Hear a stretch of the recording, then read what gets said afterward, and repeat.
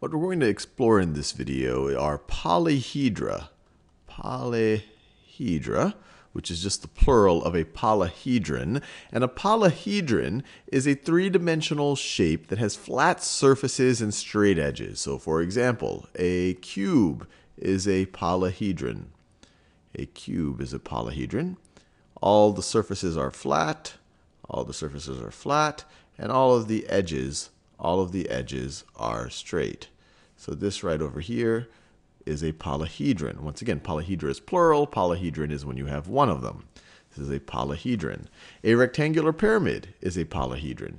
So let me draw that. I'll make this one a little bit more transparent. And let me do this in a different color just for fun. I'll make it a, mag a magenta rectangular pyramid. So once again, here I have one flat surface, and then I'm going to have four four triangular flat surfaces. So this right over here, this is a rectangular pyramid. Now it clearly looks like a pyramid. Why is it called a rectangular pyramid? Because the base right over here is a rectangle. So these are just a few examples of polyhedra. Now what I want to think about are nets of polyhedra. And actually, let me draw and make this transparent too so we get full appreciation of the entire polyhedra, polyhedron, this entire cube. So now let's think about nets of polyhedron. Nets. So what is a net of a polyhedron? Well, that one way to think about it is if you kind of viewed this as made up of cardboard and you were to unfold it in some way so it would become flat. Or another way of thinking about it is if you were to cut out some cardboard or some paper and you wanted to fold it up into one of these figures, how would you go about doing it? And each of these polyhedra has multiple different nets that you could create that can be folded up into this three-dimensional figure. So let's, let's take an example. And maybe the simplest example would be a cube like this. And I'm going to color code it. So let's say that the bottom of this cube, the bottom of this cube was this green color. And so I can represent it like this. That's the bottom of the cube. It's that green color. Now let's say that this back surface of the cube is orange. Well, I could represent it like this. And notice, I've kind of folded it out. I'm folding it out, and so if I were to flatten it out, it would look like this. Would look like that. Now, this other backside, I'll shade it in yellow, this other backside right over here, I could fold it backwards and keep it connected along this edge. Keep it connected along this edge, fold it backwards. It would look like this. It would look like that. I think you get the general idea here. And just to make be clear, this edge right over here is this edge right over there. Now I have to worry about this top part, the top part of the cube. Maybe it is in, let me do it in a pink color. This top part of the cube is in this pink color, and it needs to be attached to one of these sides. I could attach it to this side or this side. Let's attach it over here.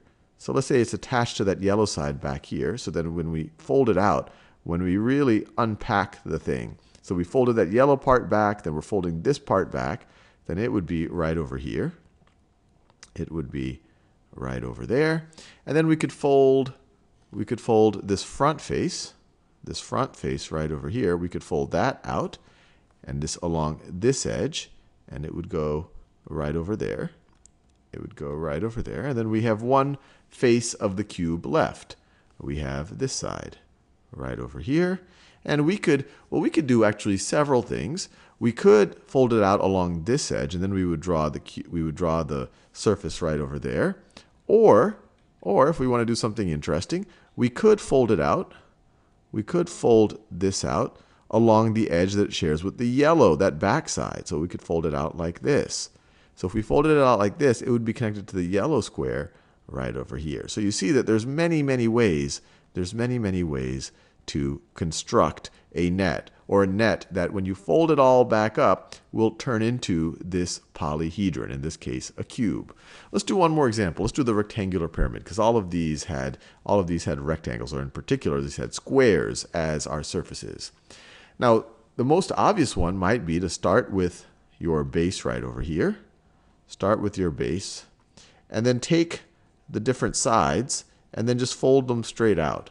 So for example, we could take this side right over here, fold it out, and it would look like it would look like that.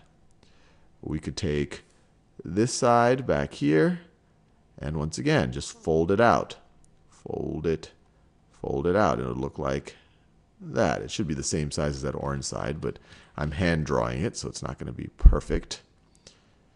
So that's that right over there. And then you could take this front side right over here, and once again fold it out along this edge. So it would look like this.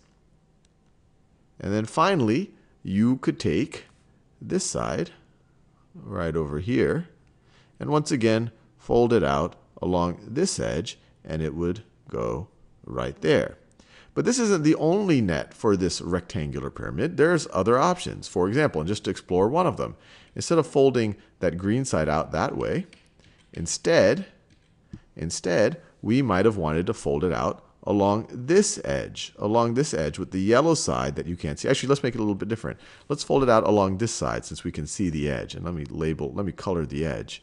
So this is the edge right over here on the blue triangle. So this is the edge. And when you fold the green triangle out, it would look like this. If you fold the green triangle out, it would look like this. So hopefully this gives you an appreciation.